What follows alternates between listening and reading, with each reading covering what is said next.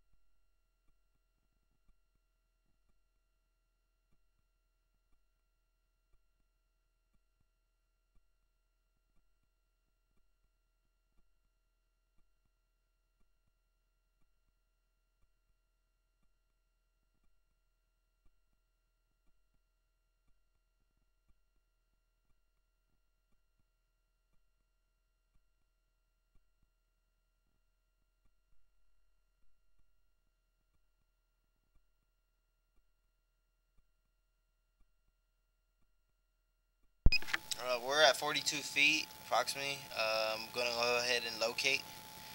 Uh, it seems that I can't push it any further than that. The line is holding water, so I have no visual.